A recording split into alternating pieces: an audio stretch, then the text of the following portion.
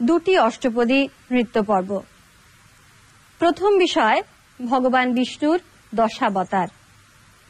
দশাবতারের বর্ণনায় ফুটে উঠেছে ভগবান বিষ্ণুর দশটি রূপ।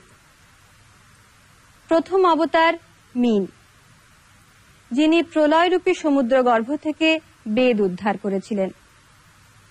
দ্বিতীয় অবতার কুর্ম, যিনি কচ্ছপ রূপে সমগ্র পৃথিবীকে নিজ পৃষ্ঠে বহন করেন। পরবর্তী অবতার বরাহ, যিনি নিজ দন্তে এই ধরিত্রীকে ধারণ করেন। এইভাবে নৃত্যশিল্পীদের অভিব্যক্তি ও আঙ্গিকে একে একে মূর্ত হয়ে ওঠে নৃসিংহ অবতার, বামন অবতার, ক্ষত্রিয় সংহার রূপী পরশুরাম, শ্রীরাম ও বলরাম। এরপরে নবম অবতার বুদ্ধ। যিনি পশু হত্যার বিরুদ্ধে প্রতিবাদ করে অহিংস নীতি প্রচার করেন।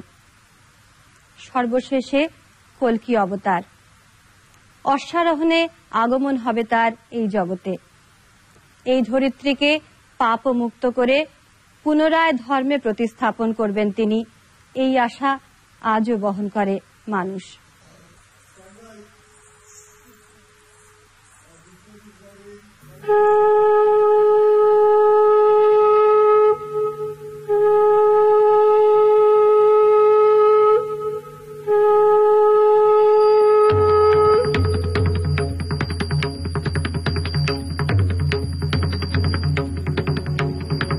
यदा यदा हि धर्मस्य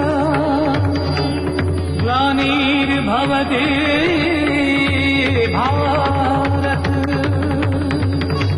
अभ्युत्थानम् अधर्मस्य तदात्मानम् श्रेयाम्यहम्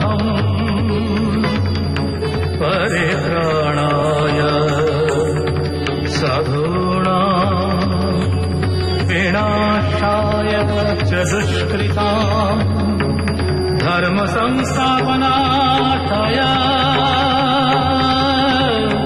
सम्भवामि।